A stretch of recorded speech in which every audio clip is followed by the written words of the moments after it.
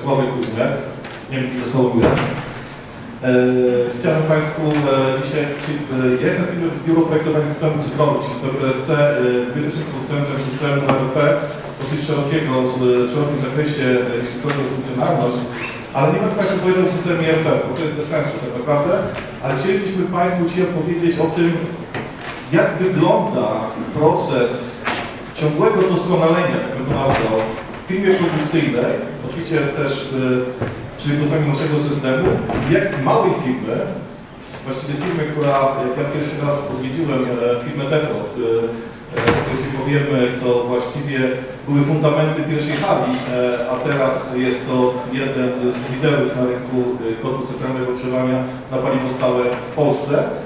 E, Jak z takiej małej firmy e, ta firma urosła i co się wydarzyło w międzyczasie, czyli jak ten proces ciągłego doskonalenia e, w tej firmie, w tej firmie postępował. Ale zanim przejdziemy może do samej firmy Dekro, taka mała dygresja odnośnie klasy 4.0 i to, co Pan Janusz mówił przed, przed, przed, przede mną. Ja ostatnio miałem takie spotkanie w Krakowie, to jest w styczniu, z takim międzynarodowym towarzystwem. Byli ludzie z ze Stanów Zjednoczonych, z Szwecji, z Francji, z Szwajcarii, z Niemiec. Dosyć dużo, e, dużo tych osób było. Ja zostałem poproszony też, tak jak Pan że zostałem poproszony tutaj, żeby przygotować taki research na temat daty 4.0, co to jest, co się z tym wiąże i tak dalej. Ja byłem przekonany, że tam właściwie całe towarzystwo przyjechało, to tak naprawdę tam wszyscy specjaliści produkcyjni, wszyscy o tym wiedzą, właściwie dla mnie to było takie, takie e, mi bardzo komfortowe. Mówię, ok, zrobię taki research, zrobię prezentację, tytułowię tę prezentację i okazało się, że na temat tej daty 4.0 tak naprawdę, Pan Janusz pokazywał, e, tej wiedzy jest niewiele. Nie tylko u nas, nie mam się tego wstydzić, ale na całym świecie. Tak naprawdę Niemcy w 2012 roku wymyślili slogan daty 4.0, E, może nie slogan, czyli myśli, że już ta rewolucja trwa, to się dzieje, e, tam duże pieniądze są inwestowane w, w tą, tą produkcję. Oczywiście chodzi o, o to, żeby cała produkcja wróciła do Europy, żeby ta produkcja nie uciekła na daleki wschód, co zrobić, żeby obniżyć jej koszty i tak dalej. I to, to właściwie to, to, to trwa. Ale żeby zejść na niego na ziemię, to wróćmy może do tematu, e, kotły z klasy, firma Defro. E, ja tutaj z Mariuszem Kubiszewskim, Dzień dobry. E, W firmie Defro Mariusz jest e, e, szefem działu zaopatrzenia teraz, ale Mariusz tak naprawdę, odkąd ja pamiętam, pełnił różne funkcje. To jest człowiek, który nas, ja nazywam i tak jak z, z prezesem Dziubełą rozmawiamy, czyli właścicielem firmy Defro, to jest prostodosz procesu. Mariusz jest szefem tam, gdzie akurat tak jak zgodnie z planem granicznym znajdujemy wąskie gardło i musimy naprawić procesy w tym wąskim gardle, tak jak Doktora dzisiaj mówi, to Mariusz tam jest szefem. I on te wąskie gardła likwiduje, stara się je zminimalizować lub też e, postarać się w jakiś sposób e, e, problemy z, ominąć i później robi różne rzeczy. Także na dzień dzisiejszy trochę zaopatrzeniem, ale tak naprawdę cały czas zajmuje się produkcją, cały czas rozliczeniem kosztów, cały czas właściwie pro- prostuje procesy tam, gdzie Nadzorowanie cały czas, mimo skutku zostaje również proces produkcyjny. Pan mówił, że e, tej roboty mu nie ubywa, tylko cały czas wykładamy. Cały czas naprawdę trochę więcej, ale to będziemy się jakoś poz- pozbierać. Może krótko. e, Co, to jest Defro? Podzieliliśmy się może w ten sposób, że ja opowiem o Defro, a Mariusz opowie o procesie takiej implementacji, jak to sobie radzili z systemem, w jaki sposób, e, jakie korzyści im to dało. Czyli w ten sposób postaramy się prze, prze- przeprowadzić prezentację. E, Firma Defro powstała w 1973 roku, czyli dosyć dawno, jako firma rodzinna. E, Od, od w 2009-2007 roku dzięki dotacjom unijnym firma zaczęła się bardzo rozwijać. Jak przyjechałem pierwszy raz, to tak naprawdę stały fundamenty tego budynku, tej hali. Tutaj też coś się zaczęło robić, ale tak naprawdę to była ta, ta, ta mała przestrzeń, czyli ta, ta, ta mała, ale to jest początek. Wtedy rozpoczęliśmy tam proces, wybrała powiedział mi, e, Sławek, e, zróbmy w- ten sposób. My mamy ludzi, wy macie wiedzę. Powiedzcie mi, w jaki sposób my mamy poukładać sobie produkcję, żeby dzięki temu, że ja mam pieniądze i chcę zainwestować w, w, w tą moją firmę, w jaki sposób tą produkcję e, poukładać. I postawiliśmy sobie tam e, pewne cele, które chcieliśmy osią- osiągnąć. E, Firma Defro dosyć mocno się e, rozwinęła. Na dzień dzisiejszy, tutaj gdzie się rekordy ustawione, to jest powstaje już następna gigantyczna hala. Czyli to, to, to w tym momencie to zdjęcie jest nieaktualne i już ta hala powstała. Ławku już powstała. Okej. Jak ostatnio byłem, to podstawała jeszcze. E, I tak to, e, tak to wyglądało. E, Teflon ma własne laboratorium, czyli cały czas rozwija też innowację, innowację swoich produktów. Te kody centralnego ogrzewania, które oglądają, to nie są już tak zwane, takie najprostsze, gdzie tam można było wszystko palić, to są już naprawdę skomplikowane mechanizmy, które umożliwiają nam zadbanie również o ekologię. Czyli głównym elementem tak naprawdę tego, żeby te kotły były jak najbardziej nowocześniejsze, to jest ograniczenie emisji powietrza, ograniczenie powietrza. Co mamy doświadczenie teraz na przykład? Wczoraj widzieliście jakby dane, te jakość powietrza na Śląsku, nie, w, Górnym Śląsku była tak kiepska, że, była, że było ostrzeżenie, że lepiej nie wchodzić z domu, raz lepiej w domu zostać niż e, pójść na tak zwane świeże powietrze. Oczywiście wszystkie te kotły, które są produkowane, są według, produkowane według norm, laboratorium to sprawdza i bada, w jaki sposób, e, jaka emisja zanieczyszczeń z tych kotłów jest, e, jest, e, jaka emisja z kotłów się, się uda. Oczywiście są one zgodne z normami e, e, energetycznymi, które e, dla tych kotłów zostały opracowane i dla tych, kotły zostały według tych badań laboratoryjnych przebadane. TEFRO posiada też badania zrobione przez niemiecką organizację, czyli BAFE, tak? E, Jest urządzenia firmy DEFRO są na liście, dzięki temu e, też na rynku niemieckim są one oferowane, dzięki temu również e, mogą być dotowane na rynku niemieckim, czyli też DEFRO to nie tylko Polska, to również właściwie cały świat już, od Chin po USA ostatnio i po, po całą, całą, całą e, Europę. DEFRO to już też komiki, komiki, tak? To Tak, potwierdzam. Od stycznia, od stycznia rozpoczęliśmy produkcję kominku. Także wkrótce pewnie i usłyszycie i zobaczycie nas. Także nie tylko kody centralnego używania, wszystko co się pali, powoli będzie e, robione e, we grę. Dekrotów, te kotły centralnego używania, powiedziałem, to nie tylko same kotły, to również sterowniki, które obsługują przepływ powietrza. Czyli mówiąc o tym, czy mamy sterowniki gdziekolwiek, jakieś czujniki, na pewno jeżeli mamy zamontowane w domach kotły centralnego używania, te czujniki, sterowniki już w domach mamy, e, nawet przy kotlach centralnego używania bardzo stałe, takie sterowniki do, do, e, do tych kotłów są montowane. Jest oczywiście dostępny moduł, który umożliwia e, obsługę tego zdania z, z właściwie dowolnego miejsca na świecie, raportowanie o tym, co się dzieje z tym danym, z tym danym urządzeniem. To tyle wstępu, jeśli chodzi o DEFRO. Przepraszam tak szybko, tak szybko ale e, tyle, tyle, tyle, tyle wiedzy mojej, jeśli chodzi o marketing związany z, z centralnego ogrzewania. E, my z DEFRO e, rozpoczęliśmy współpracę dosyć dawno. Na dzień dzisiejszy DEFRO tu e, ma Na, na ten moment posiadamy co najmniej 60 tysięcy technologii produkcyjnych, pewnie to będzie rosło z racji tego, że wdrażamy kolejne produkty. Na bieżąco w zasadzie 4 tysiące zleceń na wyroby gotowe, tak? To jest powiedzmy nie, wiem, 4 tysiące sztuk, to jest takie to minimum, które jest y, produkowane w skali miesiąca, pewnie to będzie rosło z racji tego, że są ko- y, kolejne wyroby, tak? E, Na ten moment ponad 40 tysięcy zleceń na półfabrykaty, które są cały czas w tle, tak? E, Produkcja wieloetapowa z y, wieloetapowym rozliczeniem kosztów produkcyjnych. e, Dlaczego Impuls Evo został wybrany? Przede wszystkim został wybrany dlatego, że jest polskim produktem. E, Wcześniej mieliśmy to wszystko tak naprawdę po różnych systemach porozmieszczane, nie wiem, Excel, tak jak tu dzisiaj słyszałem, tak samo modne też były, także Excel to już jest no, za przeszły czas tak naprawdę. Spięliśmy to wszystko w Impulsa tak naprawdę i to, i to było nam potrzebne. Przede wszystkim stabilna platforma bazodanowa na Oracle. Nie mamy większych problemów z tym. Y, Duże wsparcie po wdrożeniu. W zasadzie cele, które sobie określiliśmy na samym początku, dało się zrealizować dzięki temu systemowi, tak? Y, Wsparcie y, procesów informacyjnych, które jest w zasadzie dla nas bardzo kluczowe tak naprawdę, no wiemy wszystko. Zresztą coś Wam opowiem jeszcze, ale to już na następnym slajdzie.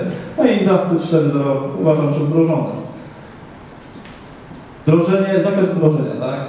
Uważam, że jest chyba bardzo dużo, bo y, cała FK, środki trwałe, zarządzanie produkcją, tak dosyć grubo nawet bym powiedział, e, elektroniczne zbieranie danych z produkcji przez kolektory, właśnie to jest to, e, ta informacja w online. Ja nie musi, mi w zasadzie nie musi ktoś kartki przynosić, tak naprawdę ludzie mają rejestrować to wszystko na bieżąco po wykonaniu każdej operacji.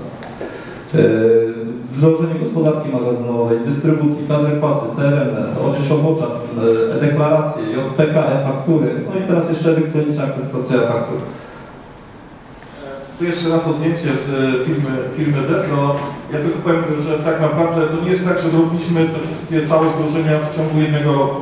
Jak Państwo widzicie, proces rozpoczął się w 2008 roku, e, w 2017 tym, teraz automatyzuje procesy back-office'owe. Ja powiem tylko tak po kolei, że e, w 2008 wystartowaliśmy z systemem w 2009 roku i główne założenie było policzyć koszty. Czyli policzyć ile nas kosztuje produkcja wszystkich asortymentów, które, które produkujemy. Wtedy jeszcze tą metodą, e, gdzie liczyliśmy koszty poszczególnych asortymentów z dokładnością co do kosztu planowanego i technicznego. Teraz staramy się przejść trochę na metodę zgodną z programowaniem, czyli e, żeby też policzyć jakie są koszty przerobu e, e, czy też e, e, proces całego rozliczenia kosztów według metody prze- prze- przerobu, ale na razie bardziej próbuje. Czyli start systemu, mamy koszty, wiemy ile nas kosztuje, jesteśmy, zdaje się, jako Defro liderem rynkowym, jeśli chodzi o koszty i obniżamy te, obniżamy te koszty jak jak możemy. E, Zatrzymujemy się w pewnym momencie, szukamy alternatywy, czyli jest następny rok 2012 i mówimy, kurczę, mamy wąskie gardła, ponieważ mamy problem e, z magazynami. Czy mamy problem e, z, z tym, że mamy przerosty na magazynach, co, jest, co, się, co to powoduje, jak poszukać tego materiału, czego, dlaczego nie możemy go znaleźć. I tutaj e, oczywiście rozwiązanie, które implementujemy, to jest oczywiście obsługa magazynu poprzez kolektory danych z lokalizacją asortymentu na magazynie bez wykorzystania systemem e, zarządzania magazynem, czyli bez WMS. Na podstawie normalnej gospodarki magazynu poprzez kody kreskowe, poprzez etykietowanie już na wstępie, każdy asortyment i poprzez system mobilny obsługi magazynu, tak możemy powiedzieć, jest w stanie, jesteśmy w stanie określić, ile tego asortymentu jest na magazynie. Jak pozbyliśmy się problemu na magazynie, to na fotografię do produkcji. Na gniazdach produkcyjnych mówimy, kurczę, czemu tam e, w tym momencie mamy przerosty. Jakbyście Państwo przeczytali książkę cel 1, czyli tam, gdzie opisywana jest teoria dzisiaj, jak ją przeczytałem później, to okazało się, że wszystkie te problemy, które myśmy spotykali z firmą Defro, to tak naprawdę w tej książce są opisane, w jaki sposób sobie z nimi radzić, co się, e, dlaczego my powstały. No i ostatni element, który zaczęliśmy implementować, to jest automatyzacja procesów back-office'owych. Ja powiem tak, że w Defro, ile osób księgowości pracuje teraz? Trzy? Trzy. Tak, tak, tak, osoby, nie? Dobra, zasoby. Tak, e, od momentu, kiedy zaczęliśmy implementację, to te pięć osób zajmowało się jakby księgowością, kontrolingiem i systemem kadrowo-płacowym, co powodowało, że e, no, tej pracy przybywa, tak? Bo przybywa osób, przybywa zatrudnień, przybywa e, danych, przybywa, e, przybywa e, informacji. Dlatego też wszystkie procesy tego również są zautomatyzowane na dzień dzisiejszy. Czyli księgowa nie wprowadza faktury z zakupu do, do systemu, robi to osoba na kancelarii albo poprzez system e-faktur, ta faktura y, y, wpada automatycznie i cały proces akceptacji odbywa się w sposób elektroniczny. Dzięki temu ona jakby kontroluje proces, jest bardziej właścicielem procesu niż rejestruje, rejestruje dokumenty. Ja, ja powiem ze swojego przykładu, jak miałem podpisać wszystkie faktury zakupowe, czy też kosztowe, no to zajmowało mi to godzinę, a teraz to jest na, nie wiem, może z 5 minut, bo w zasadzie jest wszystko spięte, wszystko widzę, nie muszę tam przeglądać tych papierków, bo, bo to jest wszystko już po drodze tak jakby sprawdzone, zweryfikowane. E, Może po kolei o tych procesach. 2009 rok kwiecień, implementacja modelu kosztowego.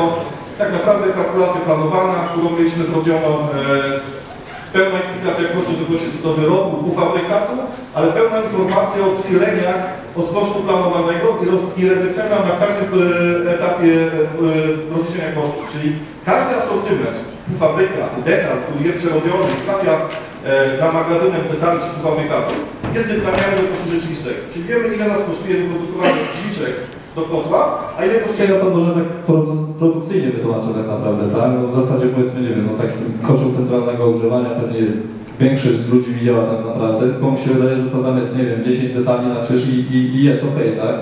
W rzeczywistości w najbardziej skomplikowanych strukturach, no, w tych najnowszych rozwiązaniach, mniej więcej to jest jakieś 4-5 tysięcy detali, nad którymi trzeba tak naprawdę zapanować.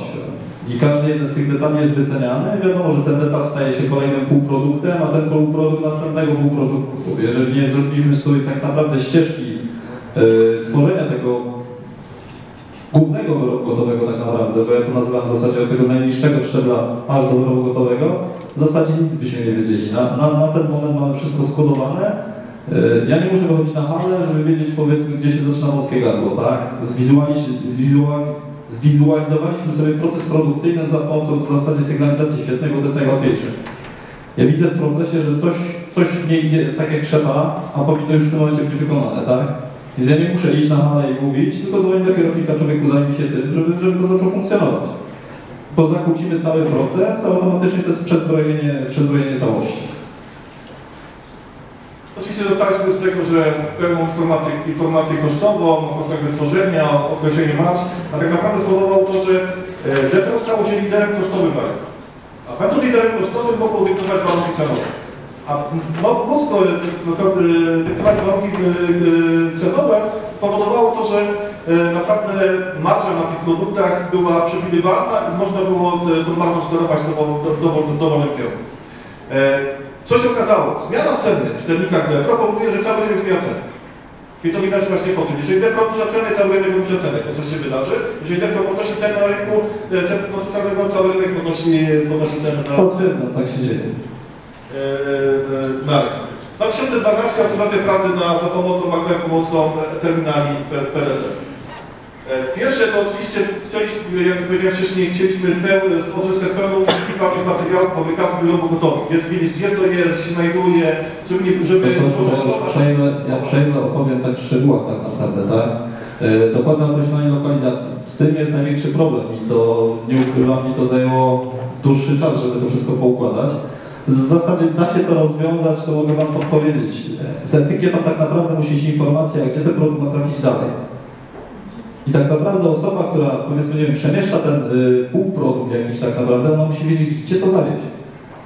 Bo tak naprawdę tych detali jest tysiące, jeden do drugiego jest tak podobny, że to nie, nie sposób tak naprawdę y, spamiętać tych wszystkich detali, tego jest za dużo.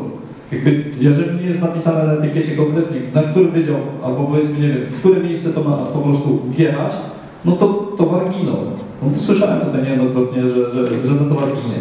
Wiadomo, problemy się zdarzają, jeżeli powiedzmy, nie ktoś tam faktycznie, nie wiem, nie doczyta, źle to przewiezie. Są przypadki, bo ja mówię, to nie, nie, nie, ma ideałów tak naprawdę, tak? Ale automatyzacja procesów magazynowych, przychody, rozchody, inwentaryzacja, to jest inwentaryzacja to jest w zasadzie, nie wiem, jeden dzień i, i zrobione tak naprawdę, tak? A ja sobie wyobrażam jeszcze, jak mieliśmy kodów kreskowych, zrobienie inwentaryzacji to jest dwa tygodnie minimum. I zaangażowanie naprawdę pół firmy, żeby, żeby w ogóle to wszystko pozliczać. Także tutaj, tutaj jest duże wyprzedzenie. No powiem tak, jak przejmowałem zaopatrzenie, no mniej więcej to tak wyglądało. To proszę popatrzeć, to jest 20 baniek zamrożonych. No i szef powiedział, no troszeczkę za dużo mrozimy w magazynie, tak? No choć mimo to mamy odtwarzalność produktową, każdy produkt jest poetykietowany, tak? Yy, powiem tak, teraz to wygląda tak, że w lipcu bodajże w tamtym roku przychodzi jeden z kierowników i mówi do mnie, Mariusz, nie wiem, firma się kończy? No bo magazyn w zasadzie tak, no nie wiem, powiedzmy 60% automatycznie został zmniejszony. Jest to wykonane tak naprawdę tylko tego, no wszystko trzeba przewidzieć tak naprawdę, poprzeć umowami i tak naprawdę dostawca ma płacić za magazyn, a nie, nie firma, która kupuje ten towar, tak? Jaki efekt? Skrócenie czasu wydawania materiału y, i półfabrykatów z magazynów aż o 50% tak naprawdę tutaj, tutaj zyskaliśmy, tak? Redukcja stanów magazynowych z 20 milionów do 8, tak naprawdę kasa została e, firmie, można inwestować dalej, tak? Nie, nie zawoziliśmy to w towarze, no i można dalej się rozwijać, tak? Automatyzacja, znaczy to- te terminale, jakie założenia? Pełna identyfikacji detali w procesie produkcyjnym, no to, to było główne założenie tak naprawdę. Dokładne określenie czasu powstawania poszczególnych półfabrykatów i wyrobów gotowych. Yy, Z racji tego, że każdy nasz pracownik przychodząc do firmy dostaje, ja to mówię, paszport DEFRO, czyli kod kreskowy, czyli zmienię imię, imię, nazwisko, stanowisko, bo to jest też wszystko związane potem y, z BHP, czyli wydawaniem ubrań i ogólnie, e, dostaje swój kod kreskowy. I każdy pracownik ma zarejestrować, tak, znaczy on ma oczywiście udawa, e, uprawnienia są w porządku do konkretnych operacji. Wiadomo, można delegować pracownika tu czy tu, tak naprawdę to jest kwestia zmienienia uprawnienia dla konkretnego pracownika. E, Każdy jeden ma obowiązek zarejestrować to, co wykona, bo jest z tego rozliczany. Wcześniej możecie, nie wiem, pewnie w większości firm jeszcze funkcjonują kartki. No ja, ja, ja uważam, że jest czas zaprzeszły i strata czasu i przede wszystkim osoby, które muszą obrobić te kartki, ile błędów tam po drodze jeszcze jest yy, po wprowadzeniu. Yy, wszystko tak naprawdę jest rejestrowane online. My wiemy konkretnie, ile dany człowiek zrobił, kiedy to zrobił, z czego to zrobił i powiedzmy, kto po nim następ, następną operację wykonywał. No, nie ukrywam, ale jak w każdym procesie produkcyjnym też się mogą, mogą trafić jakieś tam problemy, tak? Powiedzmy, nie wiem, ktoś coś zepsuł na pierwszej operacji, ale wcześniej wyjaśnić, kto to zepsuł i, i jak to się w ogóle stało, to, to po prostu koszmar, tak? A tutaj wystarczy tylko informacja pracownika z kolejnej operacji, że detal uszkodzony tak naprawdę, tak? Do listy zainteresowanych osób system wysyła informację w ciągu 3 sekund, dajmy na to, do na komputer przychodzi informacja, że detal został uszkodzony, tak? Później wyjaśniamy, dlaczego się to tak stało, tak naprawdę kto zawinił, ale my musimy zareagować bardzo szybko, żeby od razu puścić szybkie zlecenie naprawcze na ten konkretny detal, czyli powiedzmy to jest, e, dajmy na to na laser, potem musi iść przez prasę, jakieś toczenia. Tak naprawdę musimy szybko uzupełnić ten detal, żeby nie zaburzyć procesu produkcyjnego. I to, to tam naprawdę bardzo dużo e, wszelakich informacji. Między innymi e, przede wszystkim możemy odtworzyć produkt e, po numerze seryjnym, tak?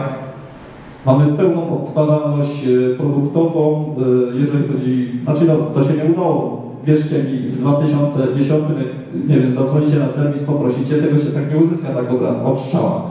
Ale w tych nowszych rozwiązaniach każdy jeden produkt w zasadzie już mamy pełną odtwarzalność.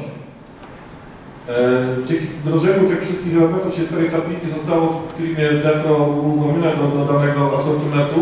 Czyli wiemy dokładnie co, z czego, kto, kiedy, dlaczego i jak było serwisowane, co się wydarzyło, gdzie mamy problemy serwisowe. Jeżeli jest jakiś problem serwisowy dotyczący nowej serii kodów, to jesteśmy w stanie też, e, czy nowego sterownika, które są zamontowane w serii kodów, tak jak, tak jak w automotive jest, jesteśmy w stanie zareagować i do klientów, którzy kupili ten konkretny kocioł z tymi e, wadami, możemy szybko zareagować i e, do nich wysłać e, Jeszcze dodam, tak jeszcze dodam ewentualnie, bo właśnie jeżeli chodzi o ten serwis, tak naprawdę to staramy, robimy cały czas statystyki, te, te dane muszą być na, na bieżąco wprowadzane, dajmy na to, nie wiem, jakiś linii produktów, coś, jakiś błąd się zaczyna powtarzać, jakiś powiedzmy, nie wiem, usterka występuje, reagujemy na to bardzo szybko, zmieniamy to, żeby potem nie pakować się w jakieś kolejne reklamacje, tak, bo to, to może być jakaś przyczyna w procesie, nieprzewidziane powiedzmy, albo coś, co nie wyszło na badaniach. A tak jeszcze dodam, w sprawie tego laboratorium my sobie sami nie badamy, bo wszyscy mówią o tym złym powietrzu, tak? My sobie sami nie badamy, moglibyśmy mieć akredytowane laboratorium, my chcemy to zrobić na zewnątrz, żeby to było naprawdę rzetelnie zrobione.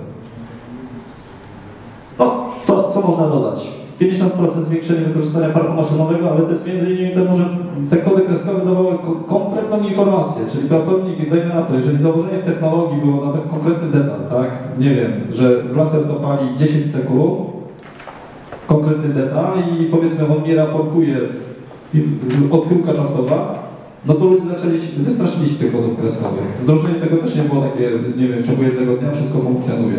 Ale potem jak zaczęliśmy zbierać te informacje, że pewnie naciskać na nich, no to właśnie te 50% zyskanie tej efektywności, tak? 30, przepraszam, było 50% wykorzystania parku maszynowego, a 30% zwiększenie. Ja mówię, to są takie szacunkowe, bo, bo ktoś no czemu mówicie 50, to jest oko, około 50%. Tak, patrząc na to, co było wcześniej, a to, co jest teraz, tak? E, Nie wierzycie, 5 sekund trwa czas rejestracji produkcji, czyli, czyli zeskanowanie tej operacji przez konkretnego pracownika. Korzyści, no poprawa rzetelności danych, tak? To, to, to, to jest niepodważalne tak naprawdę. Zasób informacji jest bardzo duży, możemy odtworzyć sobie powiedzmy wszystko, tak? O, dużo. Wizualizacja danych w systemie rzeczywistym, tak? To co powiedziałem to jest ta dla mnie e, no nie wiem, jadąc drogą mamy czerwone, zielone i pomarańczowe, tak? System działa identycznie. On to wizualizuje, jego, jego daj na to, ja nie muszę obserwować wszystkich wydziałów, bo tak jak tutaj była mowa, jak ja bym spojrzał na te wszystkie czerwone, to i tak bym już nie wiedział o co chodzi, tak? Ja sobie biorę procesem tak naprawdę. Wszystkie dane mam w online, wszystko spływa na bieżąco, tak? Ja powiedzmy, nie wiem, co dwie, trzy godzinki sobie mogę spojrzeć, co się dzieje z produkcją, tak? I każdy, tak jakby dział w firmie jest wydzielony w strukturach technologicznych i jestem w stanie zauważyć, co się złego dzieje. Dajmy na to założenie, że dzisiaj po, między e, 6 a 14 powinno to powstać, tak? A jak widzę, powiedzmy, nie wiem, na procesie, że coś jeszcze nawet nie drgnęło, bo, bo powiedzmy mam 0%, no to automatycznie jestem w stanie szybciej reagować na to wszystko. Czyli tak naprawdę poukładanie tego, to jest wszystko wykonalne. Tylko trzeba to dobrze poukładać. Lokalizacja asortymentu na magazynie w zasadzie bez konieczności y, korzystania z tych zaawansowanych systemów UMS-owych. To jest wszystko, wszystko w zasadzie w ramach gospodarki magazynowej i mod- modułu zarządzania produkcją bez potrzeby y, korzystania z UMS-a. O brak zaginionych materiałów trafiają się. Ja, ja mówię, to nie jest ideał, ale jest to naprawdę ograniczone w porównaniu do tego, co było, a co jest teraz, to, to, to jest przepaść tak naprawdę, tak? No i co, co jest jeszcze kolejną korzyścią? Szybka reakcja na zmianę kosztów materiałów. Jesteśmy w stanie bardzo szybko reagować na to, co się, co się dzieje. Dajmy na to w procesie coś wychodzi, nie wiem, technolog sobie tam założył, że dany detal jest wykonywany powiedzmy, nie wiem, yy, dwie godziny, tak? A tu się nagle okazuje, że jednak proces jest bardziej zawiły i system mówi, że on to wykonuje powiedzmy w 6 godzin. To wtedy rozbieramy to wszystko na czynniki pierwsze i, no i dopracowujemy to, tak? Czyli już wtedy automatycznie wiemy, że ten koszt, który był początkowo planowany, będzie wyższy. Automatyzacja procesów back office. Sławek może tutaj to już ty. E, Teraz zaimplementowaliśmy w DEFRO e, pierwszy taki proces, to jest tak obsługa faktów, to już mówiłem, czyli akceptacja dokumentów kosztowych. E, Chodzi o nam automatyzację procesu, pom- pomoc e, działowi e, księgowości, żeby nie było problemu z podpisywaniem faktur, z zawienionymi fakturami, żeby e, wynik finansowy, jeśli chodzi o dokument kosztowy, był złożony jak, jak najszybciej. A drugim założeniem było takie, że nie zwiększamy zatrudnienia w działach back-office'owych, czyli dwa, e, dwa założenia. E, Podczas automatyzacji procesu właściwie księgowość powoli została się wydolna. No, mieliśmy łącznie gardę księgowości, księgowość została być wydolna, e, te wyniki finansowe trwały, rozliczenie wyników finansowych trwało więcej, zanim faktury zostały wprowadzone systemu, zanim te wszystkie dokumenty zostały rozliczone, to trwało. A dzięki wprowadzeniu te, te dokumenty właściwie są rozliczane na bieżąco i na bieżąco właściwie musimy symulować wynik finansowy e, firmy i też rozliczać koszty do produktów e, na bieżąco, czyli wiemy ile nas kosztuje produkcja w trakcie procesu produkcyjnego, a nie w momencie, kiedy następuje rozliczenie kosztów. Ja tylko tak powiem, że wcześniej to było tak, że przeważnie około 20, bo wszyscy mają obowiązek podatkowy, się tam dowiadywali jaki był wynik. No my staramy się to uzyskać już w zasadzie z początkiem miesiąca, powiedzmy, nie wiem, trz- trzeciego już, już wstępnie wiemy jak, jak, jak to jest, tak? Co dalej? tego, że tak. No tak. Proszę? 3 20, tak. Tak. Tak, bo to są tylko tak naprawdę, bo to są decyzje, decyzje są pod, najlepiej podjąć szybciej, tak? Bo y, nie wiem, jeżeli właściciel firmy wie, że powiedzmy, nie wiem, y, albo zarobił, albo stracił, on jest w stanie szybciej zareagować tak naprawdę na to, co się wydarzyło, tak? Niż 14 czy 15 dni później. Jak to mówią kontrolniku według najlepszej naszej wiedzy, czyli rzetelnie trzeciego i dwudziestego, ale wiedza trzeciego jest inna, nie? E, Okej, e, co, co teraz? E, bo to nie jest tak, że skończyliśmy współpracę i my no, zrobiliśmy, jest, e, jest świetnie, firma działa, jesteśmy, rozwi- rozwinęliśmy się i znaleźliśmy miejscu. Na dzień dzisiejszy będziemy starać się integrować informacje e, bezpośrednio z maszyn. Czyli tak naprawdę w tym momencie już Że ja słoweczku wideo opowiem tak naprawdę, jak to się urodziło tak jakby w mojej głowie. Przede wszystkim chcemy wysłać informacje z systemu Impuls bezpośrednio na maszynę. Nie to, żeby człowiek nam raportował, tylko maszyna. Już jesteśmy w zasadzie na takiej etapie, że już konkretnie wiemy z jaką maszyną jak się skomunikować. Tak? No, fajnie jest jak ktoś ma, nie wiem, jeden park maszynowy jednego producenta, to jest pięknie. A najgorzej, a pewnie mało osób tak ma, że jest tylko jeden park maszynowy. Skomunikować się z wszystkimi maszynami nie jest też tak do końca proste, jakby się wydawało, bo każdy ma jakiś interfejs inny i, i to nie jest takie proste. A tym bardziej zwrot tych informacji z maszyny też musi przepływać odpowiednio. Także liczę na to, że w tym roku uda się to zrobić, żeby człowiek nie raportował, tylko maszyna powiedziała, że to już jest wykonane przez tego człowieka. Człowiek ma tylko podejść, tak w zasadzie zalogować się do maszyny i maszyna ma mówić, co po kolei jedziemy. Znaczy maszyna i system. I tak pokrótce doszliśmy do końca e, naszej prezentacji. Zapraszam uczniów za stoisko. Jeżeli Państwo macie pytania, jakieś sugestie, e, chcecie Państwo z nami porozmawiać, to e, i Mariusz i ja będziemy, będziemy obecni. Na pewno mogę odpowiedzieć. Powiem tak, no wszystkie te procesy przychodziły przeze mnie, także to a, a e, nie, nie kończymy współpracy, powiedziałem, będziemy nadal, nadal rozwijać.